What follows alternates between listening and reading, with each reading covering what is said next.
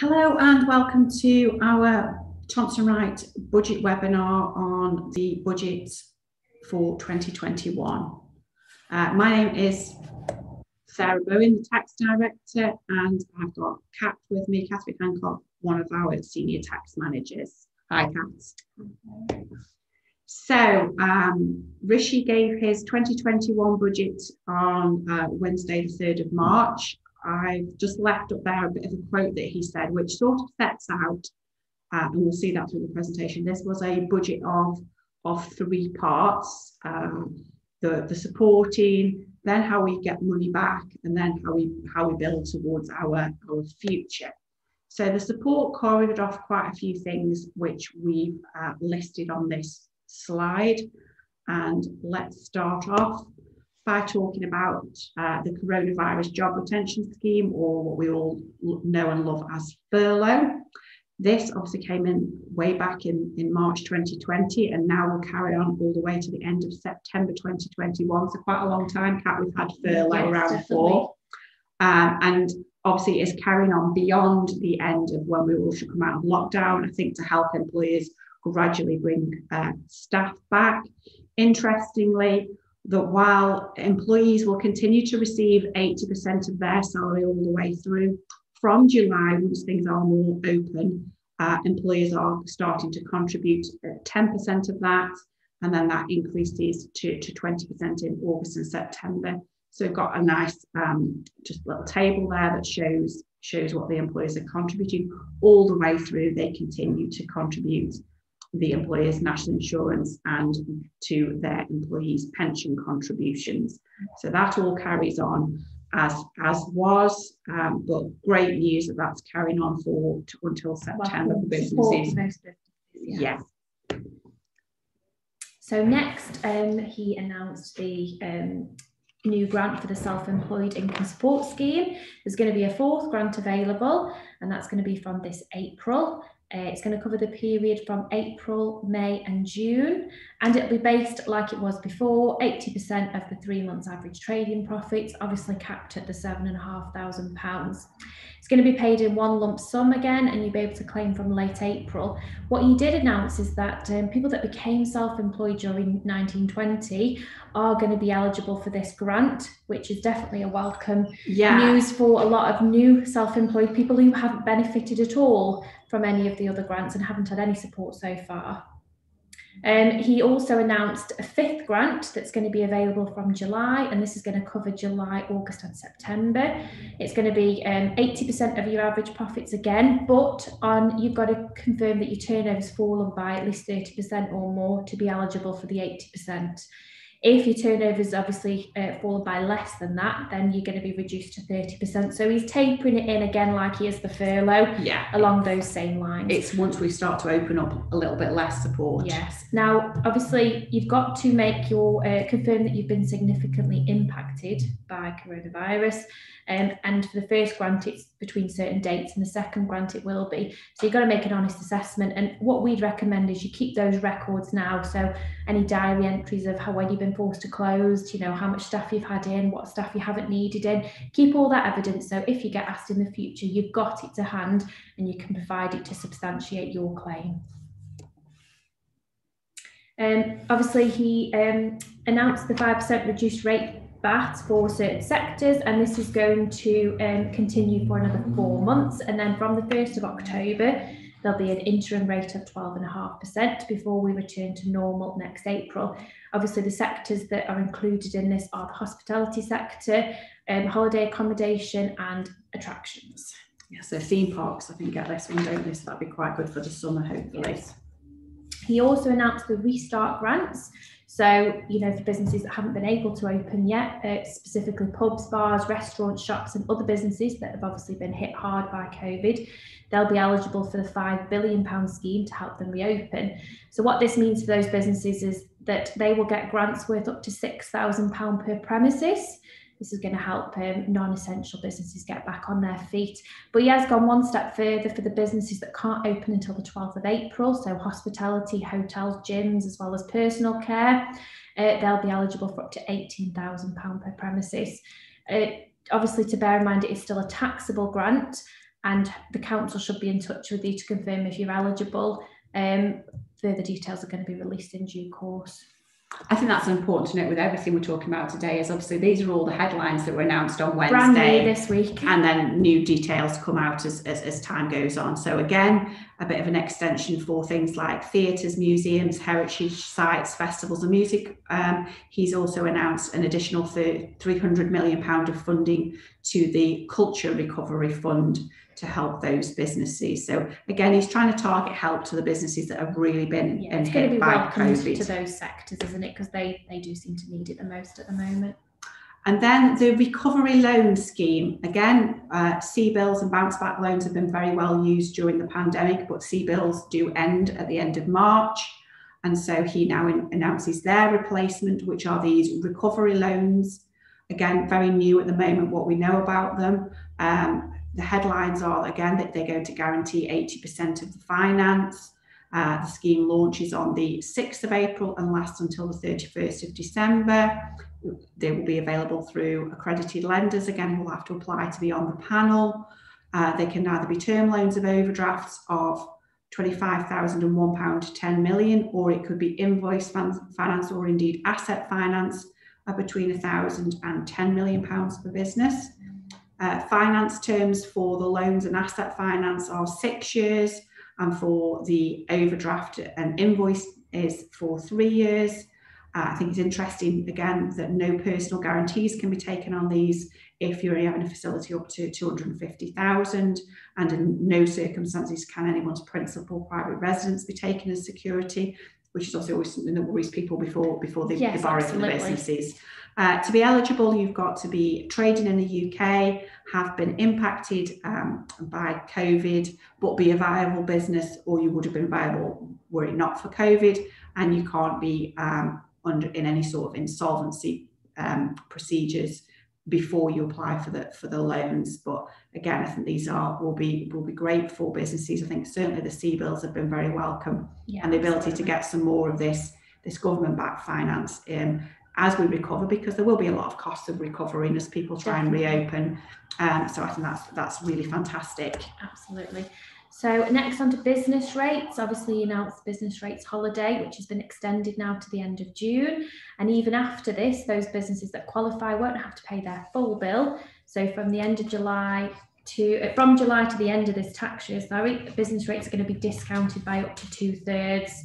Um, obviously, the original sectors were announced that do qualify, but it's a welcome reduction in cost for businesses to aid their recovery now. I say, it? I think there was a lot of, of calls from the high street, from shops saying that, look, if we reopen, but we have to pay our rates, we're not going to be able to survive getting no. back back on our so feet. So the Chancellor's listened, hasn't he, and yeah. he set this measure for them. And then another incentive is the apprenticeship incentive. So obviously, very much th- this help part of the budget is about keeping people working. That's why we've got furlough so that people can keep the jobs. And the apprenticeship incentives obviously to help younger people. Although this new incentive is for apprentices of any age, any isn't age, it? Yes. So doubling the, the payments that employers can get for taking on on new apprentices. Yes, because I think originally announced it was one thousand five hundred, didn't he, per employee? So a welcome increase and the flexi apprenticeship for for people who perhaps can't get a full-time job but they can get multiple jobs in a sector and these can be sectors like TV and film industry perhaps where people have several different jobs working for, for different companies. And so you can have a flexi apprenticeship now uh, which is which is all, all really good news absolutely Moving on to stamp duty. So obviously he announced the stamp duty holiday. Um, so up until the end of June, this has been extended to no one's going to pay stamp duty up to £500,000. Then from July to September, the nil rate band will be £250,000. So, um, you know, he's not decreasing it back to the original state until the 1st of October. And then that level will be 125,000. Uh, just to recap, this doesn't apply to the surcharge. So the 3% surcharge that applies to additional purchases, you're still going to have to make that payment. Uh, mortgages as well, first time buyers. Um, he announced 95% mortgages backed by the government. So the stamp duty holiday, I think he's realised, hasn't helped all the first time buyers get on the market.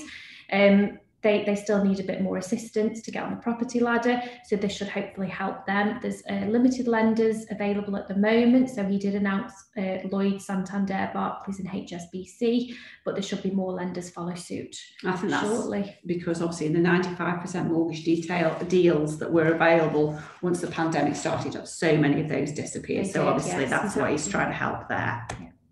So that was the first part of the budget Kat, which was in helping out. And now we come on to the second part of the budget, which is more of the, the sort of how he's going to pay for everything he's paid for over the last 12 months. The So devil will be in the details. so let's talk about some of the things he's announced um, initially. So the first one, he he sort of said, well, this won't reduce anybody's money in their pocket, and I think it's fair to say that's true. But what he's done is that uh, the personal allowance, uh, which we all receive from next month, it was already announced that that would increase to twelve thousand five hundred seventy. So he's stuck to that. He's also stuck to the higher rate threshold increase to 50,270. However, they will not now go up in the way that they normally do. So they are now our allowances until April 2026, which is a long time. yes, absolutely. And not only those, but other allowances were, thro- were, were frozen at the same time. So some examples in we've got here the inheritance tax threshold, personal lifetime allowance for pensions, the amount where you- you're annual exempt from capital gains tax. Uh, and then he's also frozen the VAT registration threshold, but that's only frozen for two years.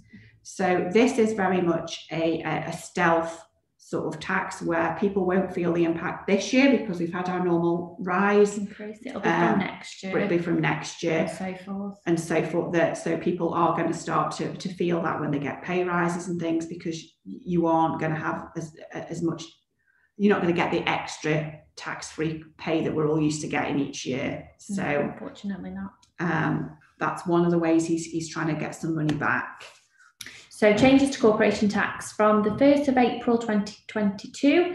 Uh, corporation tax will remain at 19% on company profits, and then from the 1st of April 2023, uh, the rate of corporation tax is going to increase to 25%. And this is for companies whose profits are £250,000 or more.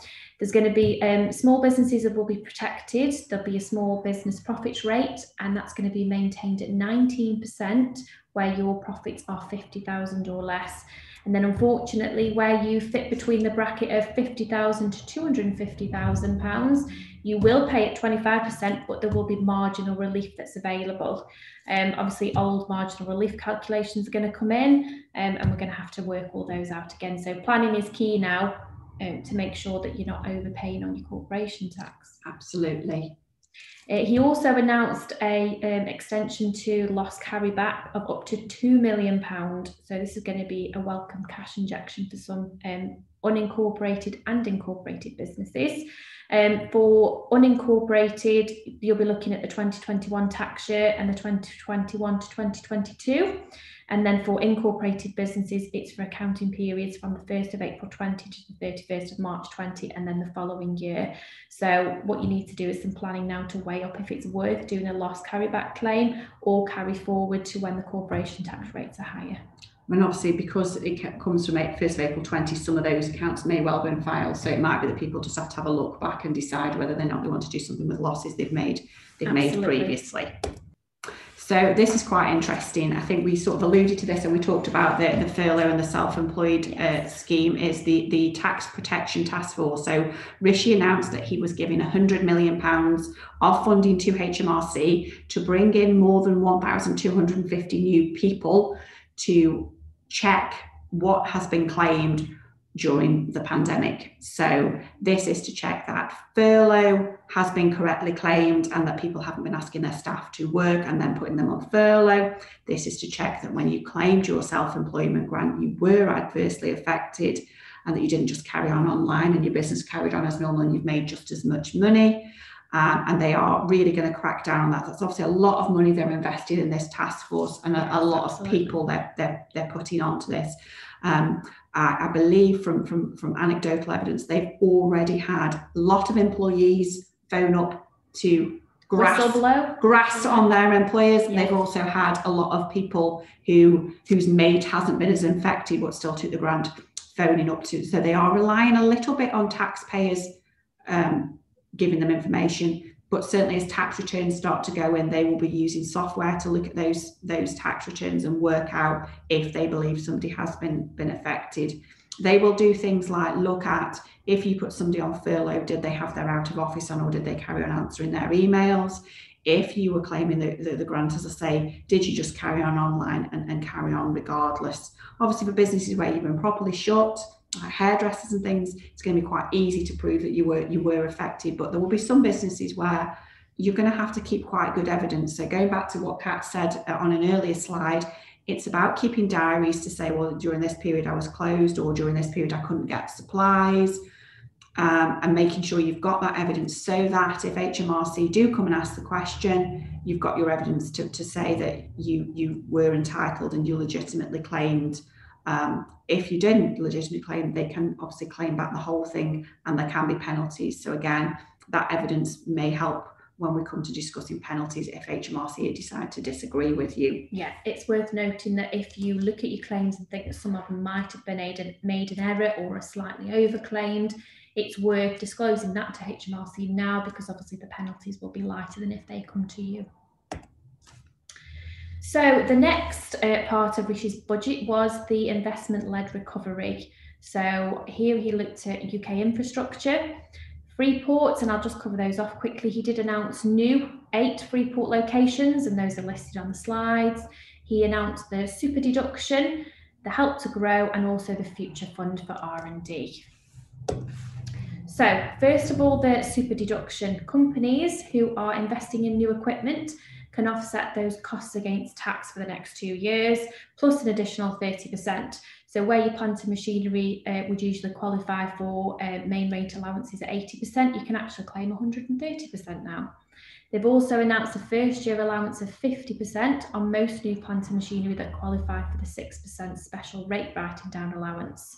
Um, there are some conditions to all of these um, reliefs that are available and they can be found on the latest guidance on HMRC online. Then for annual investment allowance, they have extended the £1 million limit for another year. Brilliant. Really good stuff. Absolutely. Um, UK infrastructure, he um, stated that they would um, support regional economic growth and help get rid of the north-south divide. So there's a bank based in uh, obviously Leeds now it's going to be, isn't it? And the bank is tasked with delivering world-class infrastructure by investing in sectors such as renewable energy, carbon capture, storage and transport, etc. So it's all about being green for the future, Absolutely. The objective is to help deliver net zero carbon by 2050. Very good. Then the help to grow. Now, this is um, from June, small businesses will be able to access a 12 week programme delivered by leading business schools across the UK. There's going to be a limited number of places available over the next three years. But what this means is that you can benefit from free impartial advice on how technology can boost the performance of your business through online platforms. Also, eligible businesses will be able to get up to 50% discount on costs of approved software. Brilliant. So this is going to be um, a welcome support for some and again, businesses. It, it's about it's investing in the future. This Absolutely. is, is investments now, in the future. Full details on this are going to be published in the summer. And then the breakthrough funding. So companies with high R&D intensity uh, that are aiming to raise at least 20 million pounds of funding will be eligible to apply for this. So what, what the government doing here is encouraging private investors to co-invest with the government in highly innovative research and development companies. Very good. So that was, as we said, the, the budget uh, based on the announcements. Obviously, there will be more detail to come. Always more devil in the detail. Um, we'll update our guidance on our website to account for this. Obviously, if you've got any questions, uh, contact us uh, on the on the usual way. And hopefully, that was that was helpful. Thanks a lot. Thank you.